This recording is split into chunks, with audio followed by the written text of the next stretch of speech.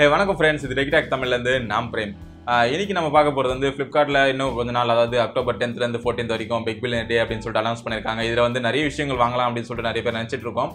அதாவது இன்னும் பத்தாயிரத்துக்கு மேலே வாங்கணும் அப்படின்னா இஎம்ஐயில் தான் வாங்கணும் அப்படின்னு சொல்லிட்டு நிறைய பேர் நினச்சிட்டு இருக்கோம் நான் வாங்க முடியாமல் நிறைய வாட்டி போயிருக்கலாம். என்னோட ஃப்ரெண்ட்ஸ் கூட சில பேர் வந்து இஎம்ஐ கார்டு இல்லைன்றதால அதாவது கிரெடிட் கார்டோ இல்லைனா பஜாஜ் கார்டோ இல்லைன்றதால வாங்க முடியாமல் கஷ்டப்பட்டுட்டு இருக்காங்க. இது இது உங்கள் எல்லாருக்குமே அதாவது நம்ம எல்லாருக்குமே ஒரு நல்ல விஷயமா கார்ட்லெஸ் கிரெடிட் அப்படின்ற ஒரு விஷயத்தை வந்து ஃப்ளிப்கார்ட் அனௌன்ஸ் பண்ணியிருக்காங்க. இது ஆல்ரெடி வந்து ஹைதராபாத் பெங்களூர் மற்றும் பாம்பே அப்படின்ற இடங்களில் வந்து ஆல்ரெடி யூஸ் பண்ணிட்டு இருந்தாங்க ஆனால் தமிழ்நாட்டில் இப்போ தான் வந்து அனௌன்ஸ் பண்ணியிருக்காங்க. இந்த விஷயத்த இந்த வீடியோவில் பார்க்க போகிறோம் இது எப்படி வாங்குறது அப்படின்ட்டு. நீங்கள் எங்கள் சேனல் சப்ஸ்கிரைப் பண்ணலாம் தயவு சப்ஸ்கிரைப் பண்ணுங்கள் அப்படியே அந்த பெல் பட்டன் கிளிக் பண்ணிங்கன்னா எங்கள் வீடியோஸ் பற்றின அப்டேட்ஸ் உங்களுக்கு தொடர்ந்து வந்துட்டே இருக்கும். மறக்காம இந்த வீடியோ முழுசாக பாருங்கள் வாங்க வீடியோக்குள்ள போகலாம்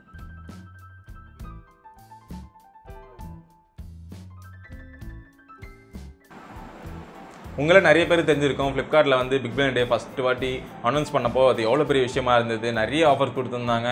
ஒரு ரூபாய்க்கு ஃபோன் ஒரு ரூபாய்க்கு பென் ட்ரைவ் அப்படின்னு சொல்லிட்டு நிறைய விஷயம் கொண்டு வந்திருந்தாங்க. அதனால் பிக் பில்லியன் டே அப்படின்னாலே ஒரு பெரிய சேல் அப்படின்னு நிறைய பேருக்கு தெரியும். அது வந்து அவங்க வருஷம் வருஷம் வந்து பிக் பில்லியன் டே அப்படின்னு சொல்லிட்டு வச்சுட்டு பெரிய சேல் பண்ணிட்டு இருக்காங்க. இந்த வருஷமும் இந்த பிக் பில்லியன் டே வந்து வச்சுருக்காங்க. இந்த விஷ- இந்த வருஷம் வந்து இன்னும் நிறைய கஸ்டமர்ஸை இழுக்கிறதுக்காக அவங்க என்ன ஒரு விஷயம் பண்ணியிருக்காங்கன்னா கார்ட்லெஸ் கிரெடிட் அப்படின்ற ஒரு விஷயத்தை கொண்டு வந்திருக்காங்க. அதாவது உங்களுக்கு கிரெடிட் கார்டோ டெபிட் கார்டோ இல்லைனா ஒரு பஜாஜ் கார்டோ தேவையில்லை. நீங்கள் வந்து ஜஸ்ட் இந்த ஃப்ளிப்கார்ட்டில் இருக்க ஒரு விஷயம் அதாவது கார்ட்லெஸ் கிரெடிட் அப்படின்றத ஆக்டிவேட் பண்ணிட்டாலே உங்களுக்கு வந்து ஒரு குறிப்பிட்ட அமௌண்ட் கிரெடிட் வந்து ஒதுக்கிடுவாங்க. அதாவது அந்த கடனை தருவாங்க. அந்த கடனை வச்சு நீங்கள் வந்து பொருட்கள் வாங்கிட்டு அதுக்கு எத்தனை மாதம் உங்களுக்கு டெனிவிட்டி வேணுமோ அதாவது மூணு மாதத்துலேருந்து ஆறு மாதம் இல்லைனா மூணு மாதம் வேணுமா ஆறு மாதம் வேணுமா பன்னெண்டு மாதம் வேணுமா அப்படின்ற டெனிவிட்டியில் எத்தனை மாதத்துக்கு நீங்கள் அந்த இது மணி திருப்பி கட்டுறீங்களோ அந்த டெனிவிட்டி செலக்ட் பண்ணிவிட்டு நீங்கள் வந்து பொருட்கள் வாங்கிக்கலாம். இது வந்து ஆல்ரெடி அமேசான் பே இஎம்ஐ அப்படின்னு சொல்லிட்டு ஒரு வீடியோ போட்டிருக்கோம். அந்த வீடியோவோட லிங்க் இங்கே போடுறேன் பாருங்கள் இது வந்து அது அது சேம் தான். ஆனால் வந்து இன்னொரு விஷயம் என்னென்னா அமேசான் பே இஎம்ஐ கூட இன்னும் சென்னைக்கு வரல. அது இன்னும் ஹைதராபாத் அந்த பாம்பே அங்கே தான் யூஸ் பண்ணிட்டு இருக்காங்க. ஆனால் ஃப்ளிப்கார்ட்டில் இன்னும் சீக்கிரமாக கொண்டு வந்துட்டாங்க.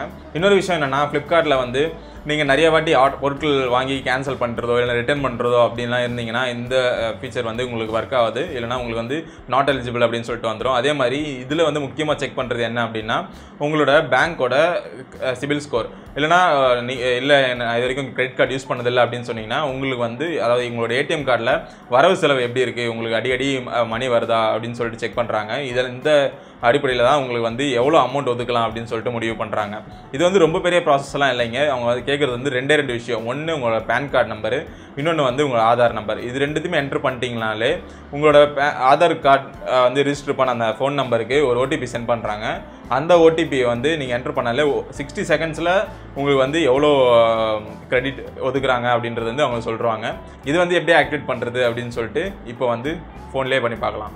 நீங்கள் ஃப்ளிப்கார்ட் ஆப் ஓப்பன் பண்ணிங்கன்னா ஃபஸ்ட்டு அப்படியே ஸ்க்ரோல் பண்ணிங்கன்னா இந்த மாதிரி இது பேனரில் வரும். இந்த பேனரில் வந்து இதோ இங்கே இருக்குது பாருங்கள் டோனி சாரோட ஸ்டில் போட்டு கார்ட்லெஸ் கிரெடிட் பை ஃப்ளிப்கார்ட் அப்படின்னு சொல்லிட்டு வச்சுருக்காங்க. அதில் வந்து அப்ளை நவுன் கிளிக் பண்ணோம்.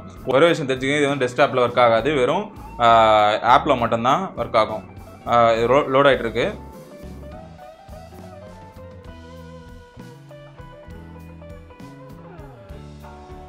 லோட் ஆகி முடிச்சதும் உங்களுக்கு வந்து இந்த ரெண்டு டீடைல்ஸ் கேட்கும். ஒன்று பேன் நம்பர் அடுத்தது இந்த ஆதார் நம்பர் இங்கே பேன் நம்பர் என்டர் பண்ண உடனே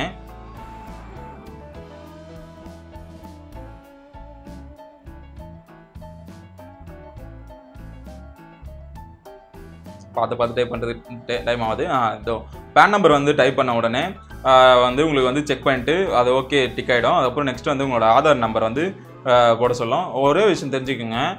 இந்த பேன் நம்பரும் அப்புறம் ஆதார் நம்பர் எல்லாமே ஒரே பேங்க்கில் கனெக்ட் ஆகிருக்க மாதிரி இருக்கும். நீங்கள் பேங்க்லேயும் வந்து உங்களோட ஆதார் கார்டை வந்து லிங்க் பண்ணியிருக்கணும் ஓகே வந்த உடனே கிளிக் பண்ணிட்டீங்கன்னா எலி எலிஜிபிலிட்டி செக் பண்ணிட்டு அக்ரின்னு கேட்கும். அக்ரி கொடுத்துட்டிங்கன்னா இந்த மாதிரி உங்களுக்கு வந்து ஒரு ஓடிபி வந்து உங்களோட ஃபோனுக்கு சென்ட் பண்ணியிருப்பாங்க அந்த ஓடிபி வந்து நீங்கள் என்டர் பண்ணிங்கன்னா ஓடிபி வந்துடுச்சு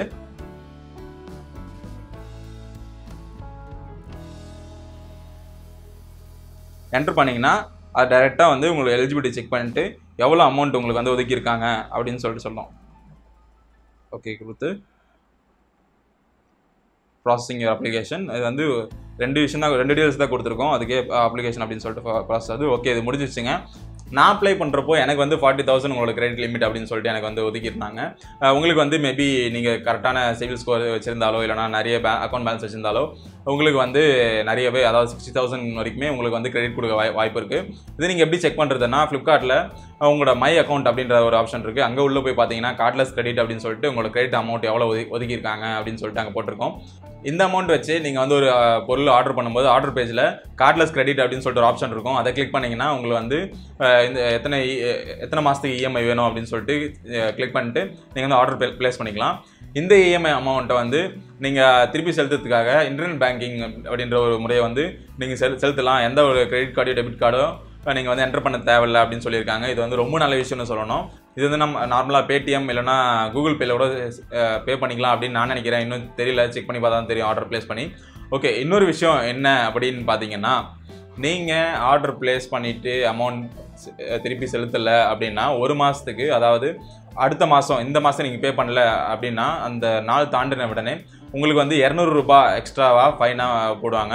அப்படி இல்லைன்னா நீங்கள் வந்து ஒரு பெரிய அமௌண்ட் வச்சு வாங்கிட்டீங்க. இல்லை முப்பதாயிரம் நாற்பதாயிரூவாய்க்கு வந்து ஒரு பொருள் வாங்கியிருக்கீங்க. அதோட வட்டி வந்து இன்னும் அதிகமாக போவோம் அப்படின்னா என்ன பண்ணுவாங்கன்னா அதுக்கு வந்து த்ரீ பர்சன்ட் வட்டி அப்படின்னு சொல்லிட்டு சார்ஜ் பண்ணுவாங்க அப்படின்னு சொல்லியிருக்காங்க. ஃப்ளிப்கார்ட்லேருந்து இன்னொரு விஷயம் சொல்லியிருக்காங்க. அதாவது நீங்கள் வந்து பொருள் வாங்கிட்டு அடுத்தடுத்த மாதங்களில் நீங்கள் பே பண்ணலை அப்படின்ற பட்சத்தில் அவங்க வந்து வசூல் ராஜாக்களை உங்கள் வீட்டுக்கு அனுப்புவோம் அப்படின்னு சொல்லி சொல்லியிருக்காங்க. அதாவது கலெக்டர் ஏஜென்சிஸ் வந்து உங்கள் வீட்டுக்கு அனுப்பி அதை எப்படியாவது நாங்கள் கலெக்ட் பண்ணுறோம் உங்கள் மேலே கேஸ்லாம் போட மாட்டோம் அப்படின்னு சொல்லிட்டு டீசெண்டாக சொல்லியிருக்காங்க. அதனால் வந்து வாங்குறவங்க பார்த்து வாங்குங்க. ரொம்பலாம் அதிகமாக செலவு பண்ணாதீங்க. நமக்கு என்ன தகுதியோ அதை வச்சு வாங்கிக்கலாம். இன்னொரு விஷயம் என்னென்னா கொஞ்சம் பழைய பழைய ஃபோன்ஸ் அப்படின்னா ரெண்டு வருஷத்துக்கு முன்னாடி வந்து ரிலீஸ் ஆன ஃபோன்ஸ்லாம் வந்து இந்த ஆப்ஷன் வந்து ஓப்பன் ஆகலை. நானே நிறைய ஃபோன்ஸ் செக் பண்ணி பார்த்தேன். அந்த மாதிரி ஃபோன்ஸ் பழைய ஃபோன்ஸ்லாம் வந்து இந்த ஆப்ஷன் காட்டவே இல்லை. அந்த பேனரே காட்டல ஃபர்ஸ்ட் ஆஃப் ஆல் புது ஃபோன்ஸ் அதாவது இப்போ இந்த இயர் லான்ச் ஆன ஃபோன்ஸ் இல்லைனா லாஸ்ட் இயர் லான்ச் ஆன ஃபோன்ஸ்லாம் இந்த பேனர் காட்டுச்சு. அது என்ன என்ன ப்ராப்ளம் அப்படின்னு அப்படின்னு தெரியல. நான் மெயில் அனுப்பிச்சிருக்கேன் ஃப்ளிப்கார்ட்டுக்கு அவங்க இன்னும் ரெஸ்பான்ஸே பண்ணல. ஏதாவது அப்டேட் இருந்தால் கண்டிப்பாக சொல்கிறேன் இந்த வீடியோ உங்களுக்கு பிடிச்சிருக்கும்னு நினைக்கிறேன். பிடிச்சிருந்தா லைக் பண்ணுங்கள் பிடிக்கலனா அன்லைக் பண்ணுங்கள் ஒன்றும் பிரச்சனை இல்லை. பிடிக்காத காரணத்தையும் அப்படியே கமெண்ட்டில் சொன்னீங்கன்னா ரொம்ப நல்லதாக இருக்கும். நீங்கள் எங்கள் சேனல் சப்ஸ்கிரைப் பண்ணலன்னா தயவுசெய்து சப்ஸ்கிரைப் பண்ணுங்கள் இது வந்து சப்ஸ்கிரைப் பண்ணுறதுக்கு வருத்த அப்படின்னு இருந்துச்சுன்னா தயவு செஞ்சு சப்ஸ்கிரைப் பண்ணுங்கள் உங்கள் ஃப்ரெண்ட்ஸ்க்கும் சொல்லுங்கள் சப்ஸ்கிரைப் பண்ண சொல்லி வீடியோ வீடியோ ஷேர் பண்ணுறதா ஷேர் பண்ணுங்கள் அதே மாதிரி முக்கியமாக அந்த பெல் ஐக்கன் கிளிக் பண்ணுங்கள் அப்போ தான் வந்து உங்களுக்கு நோட்டிஃபிகேஷன் வரும். நானாக வந்து சில பேர் என் ஃப்ரெண்ட்ஸுக்கு வந்து வாட்ஸ்அப்பில் சென்ட் பண்ணிட்டு இருக்கேன். அந்த மாதிரி பிரச்சனைகள் இருக்காது. பெல் ஐக்கன் கிளிக் பண்ணிங்கன்னா.